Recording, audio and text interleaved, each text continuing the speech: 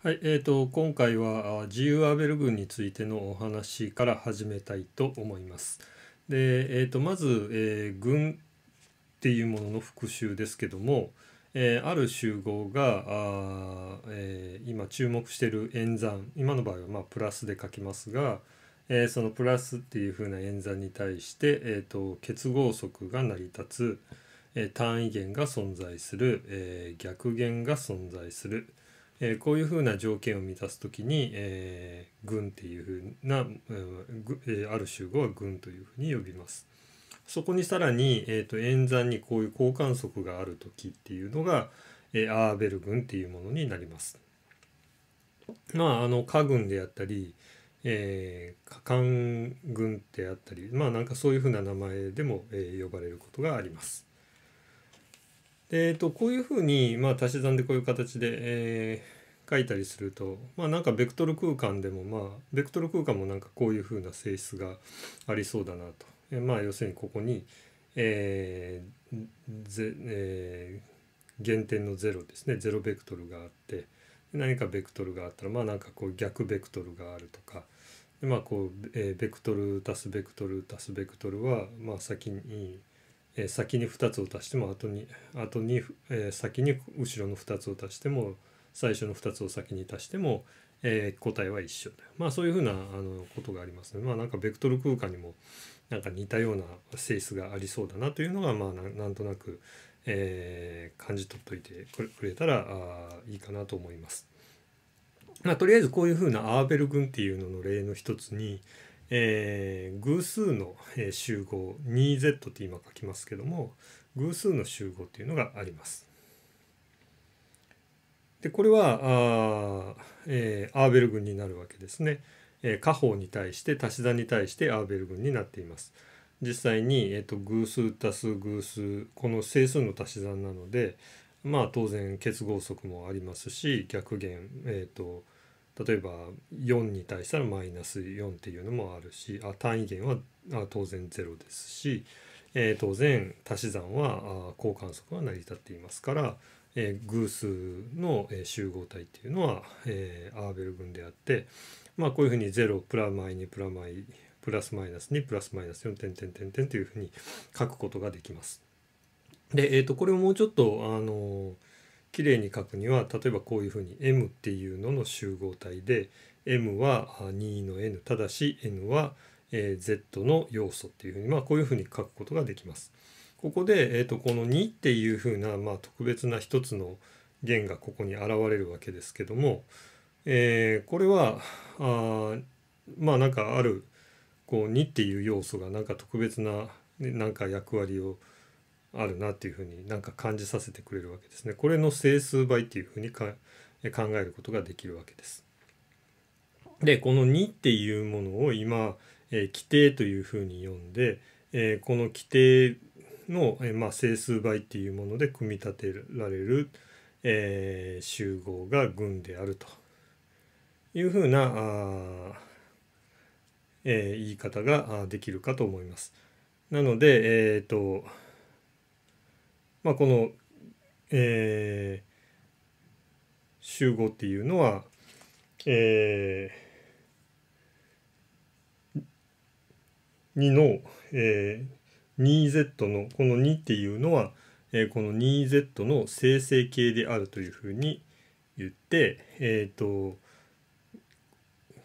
2っていうふうなもので、えー生成された、えーこれを自由アーベル群というふうに言います。こういうふうな規定が、えーうまく選んできて、えー作ることができる形成することができる、えー群えー群のこアーベル群のことを自由アーベル群と言います。でえっ、とまあ何に見立ててるかっていうとこの規定っていうところがまあベクトルに似てるっていうベクトル空間に似てる言葉だなっていうところからもそうなんですけどもベクトル空間でも単位ベクトルがあると、えーそれをえっ、と何倍かしそれを2倍3倍4倍ってしていくと、まあ、格子空間みたいなものが、えー作られ作れるわけですし、えーまあ実数倍でもあいいいいんですけどもベクトル空間の場合は実数倍でもいいんですけども、えー、それで空間全体を、えー、一つの規定からああたくさんの、えー、ベクトル空間の点っていうのを生成することができると線形結合をとって、え、ベクトル空間を再構築できるというのがまあ規定です。だからそういうものが群の中にもあって、えー、そういう規定をうまく選べるものを、えー、自由アーベル群というふうに、えー、呼びます。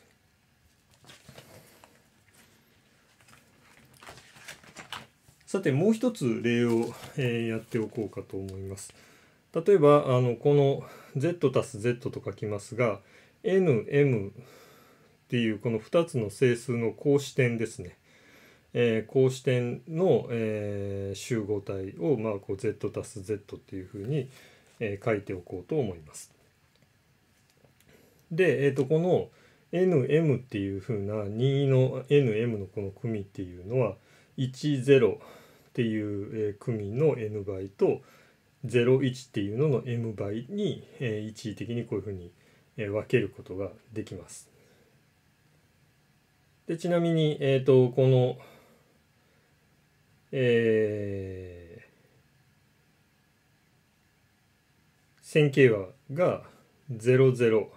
この形式的な線この線形和がもし00っていう、えー、まあまあまずはこれで、えーと、こういうふうな演算則があったりするあるっていうことにすると、えー、この MN っていうのは、まあ、ある種の、えーと、群このこういうふうな二次元の足し算に対してベクトルの足し算に対して、えー、この光視点っていうのはあ群をこう構成する、まあ、特に、えー、ベクトル空間ですので、えーと、自由アーベル群に、えー、アーベル群になっているわけですが、まあ、それがこういうふうに1001でこういうふうに展開できるっていうことはあこの1001で貼られているようなあ自由アーベル群になるわけですが、まあ、あのもう一つ大事なここれで貼ら2つで貼られる自,、えー、自由アーベル群っていうためにもう一つ大事なこととしてはえこういう性質がないといけません。えっ、ー、と n 倍の 10m 倍の01っていうのが、えー、ここの単位元になる時00になる時っていうのは、えー、n も m も0の時のみであると。でこの時をもって、えーと、10と01はあ一時独立であると言います。でこういうふうな一時独立な2つのもので貼られているっていうことを、えーまあ、要するに2つの規定からあ生成されていると言います。でこのような状況を、えーと、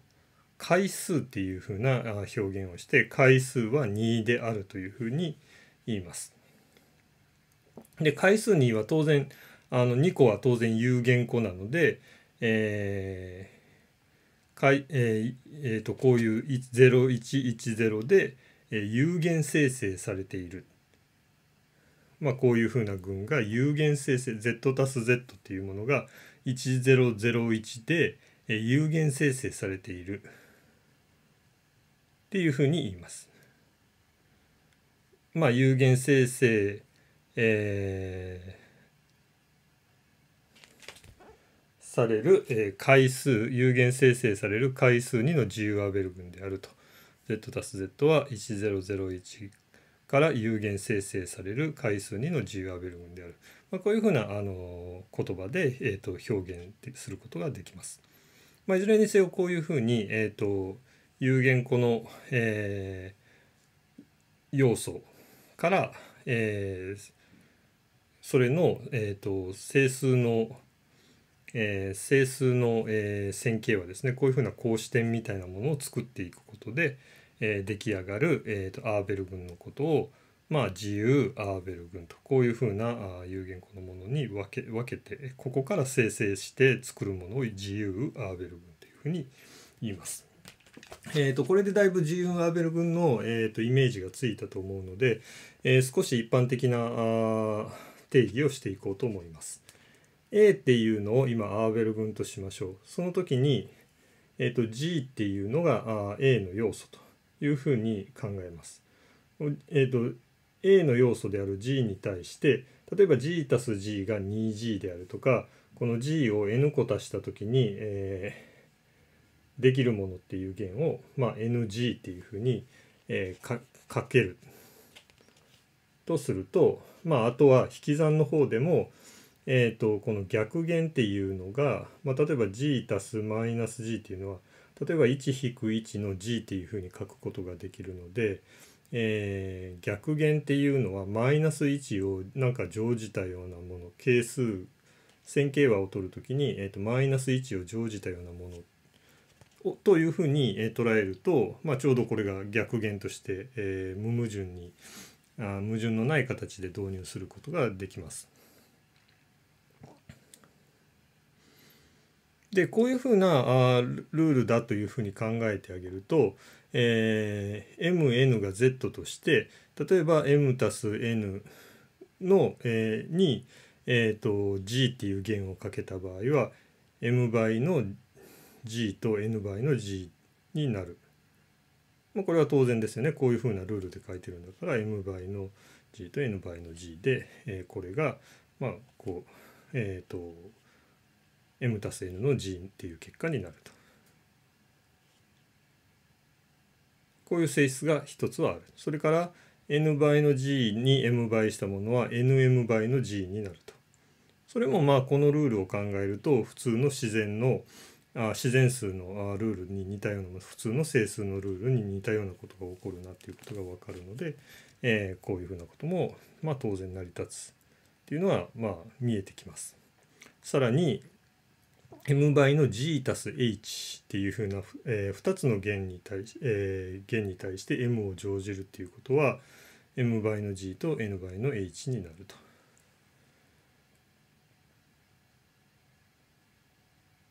これも、えーと、矛盾なくこういうふうな性質を、えー、形式的な線形和の中に入れてあげればあ入れることはまあ当然あの矛盾なくこれも使えるということになります。したがって、えー、とこの123番さらに、えー、とアーベル群であるっていう性質から A っていうのは実はあベクトル空間の公理を満たしているとある種のまあベクトル空間のように扱えるとただしこの M とか N っていうのは今の場合整数ですので公式公式空間のようなものに、まあ、対応したものになってくるっていうことが、まあ、ここで分かります。さてそこで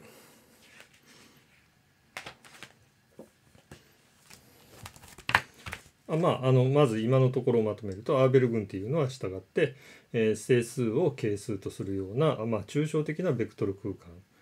に、えー、なっています。でこのアーベル群 A っていうのの、まあ、部分集合 S っていうのを考えますがこの部分集合 S で、S1 から点々点の SR まで、まあ、R 個の、えー、要素からなる部分集合があるとしましょう。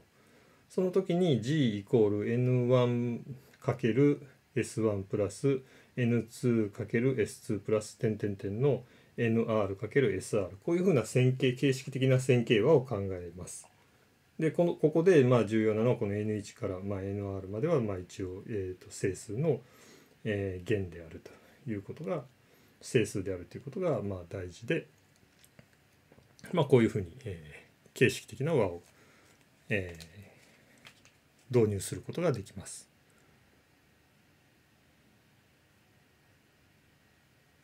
そうすると,、えーと、こうして書ける、えー、G っていうものの、えー、要素のこういう G の集合ですねこの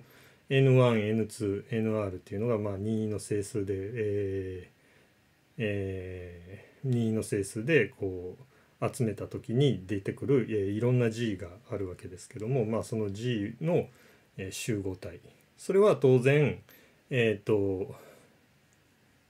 A は A が群をなしてるわけですからその群,、えーと、群の要素のまあこういう、えー、演算の結果なのでこれも A の要素になるからまあ、当然 A の、えー、G, G, G の集合は A の部分集合になるのは当然なんですが、えー、とさらに A の、まあ、さらに群っていう性質も示すの、えー、示されるので A の部分群に、えー、なります。そうですよね。えっ、ー、とこういう G っていうものが与えられたら当然えっ、ー、とまあこれ同士の、えー、線形和もえーえーと結合則も当然成り立つっていうのは、ねまあ、自明ですし単位元は、まあ、この n が全部0の時 n1 から nr が0の時だしえっ、と逆元は、まあ、ここにマイナスをつけたものですね。えーマイナス1を乗じたようなものが逆元になると。でさらにこういうふうなベクトル空間的な性質を持っているので、えー交換則、まあ、先に、えー、とどれかを先に計算しても全然、えー、と結果は変わらないっていうふうなことで、えー、と構成できますから、まあ、あの部分群こ,、まあ、この G で、えー G の集合体は群をなすと。まあ、それはあの今言ったように、えー、とアーベル群を作っていると。でしかもこういうふうな有限の、えー規定で貼られるのでこういう有限の規定で、えー有限生成される、えー、と回数 R の、えー自由アーベル群になっているというとこまで、えー分かるあいうことに、えーなるわけです。これがまああの自由アーベル群の一般的なあ定義になります。さて最後にえっ、と単体のあちょっと違うもうちょっと抽象的なあのえっ、と自由アーベル群を導入しておこうと思います。えー何を、えー、と生成形に持ってくるかっていうと n 単体を、えー生成形に持ってきます。p 個の n 単体を生成形に持ってきます。例えばえ n 単体って何だったかっていうと n イコール2の場合はこういう三角形だし n イコール3の場合はこういう四面体です。こういう、えーとまあ、n イコール2の場合だったらこういう、えー三角形の集合体で貼られるようなもの。えー n イコール3だったらこのこういう、えー四面体の集合体で貼られるものです。あああ四面、えー、と n 単体っていうとこういうものです。今これの集、えー、と p 個からなる集合を考えています。で、えーとまあ、こうシグマ i っていうシグマ n の i っていうふうなこうもので i が1から p まであるというような状況を考えます。でこれの形式的な和ですね例えばこういうものですね。えーはあずいぶん前に導入しましたがこれは鎖って呼ばれるものチェーンって呼ばれるものになります。でこのチェーンっていうものがどういうふうな集合になってるかっていうと、えー今の場今少しここの、えー、と AI っていうのが Z だっていうふうに、えーしておくと、えーこれはまさに先ほどの、えー自由アーベル群になるわけですね。このシグマ i の n で、えー貼られあ貼られるというかあのを規定とするこれで有限生成される、えー自自由アーベル群があ出来上がるわけです。この G っていうものの集合が自由アーベル群になるわけです。でこのこうしてできた自由アーベル群のことを、えー、差群鎖群というふうに、えー呼びます。チェインチェインチェイン群というふうに言います。チェイングループっていうわけですね。で、えっ、と今大体えっ、と大事なあー自由アーベル群と、えー、差群鎖群っていうのを、えー定義したわけですけどもまああの今の定義で実際群になってるかっていうのを確認したいので、まあ、最後にそれだけ確認していこうと思います。で、えー、と2つの、えー N 鎖 N チェーンの和っていうのが、まあ、例えば F イコールシグマの i AI のシグマ i と、えー G っていうのが BI のシグマ i、まあ、こういうふうな2つの、えーえー要素があったとします。これの和っていう F たす G の和っていうのがシグマ i の AI たす BI の括弧のシグマ iN っていうふうな、えー演算であると。2つの、えー N 鎖の足し算っていうのはこうであるっていうふうに定義するとまず結合則はまあ自明ですね。こういうふうな H っていうのを与えてあげると FGH で足し F たす G に H を足しても G と H を足し足しといてから F を足しても、えー同じになる。結局は係数が AI 足す BI 足す CI まあこれはえーっと整数なのでまあ全結合則はまあ余裕で成り立つと。地面に成り立っているということになります。そして、えーと、F のあ単位元っていうのは何かっていうと係数が全部0の時ですね。これもまあじ、えー、自明じゃないかと思います。そして、えーと、群であるための3つ目の条件逆弦の存在ですがこれはマイナス1を乗じて係数にマイナスがついているマイナス AI っていうのが、まあ、例えば F の逆弦になると。で交換則っていうのもまあ今こういうふうなあものを出してくると F たす G とは AI たす BI G たす F っていうのは BI たす AI なんですけどもこの、えー、中の整数っていうのはあ交換則が当然成り立ちますから F たす G っていうのと G たす F っていうのは当然同じものになると。いうことになって、えーと、こういうふうに、えー、生成された、えー、鎖ですねチェインのチェインからなる集合っていうのは、えー、チェインからなる集合っていうのはアーベル群を成しているっていうことが分かります。はい、今回は以上になります。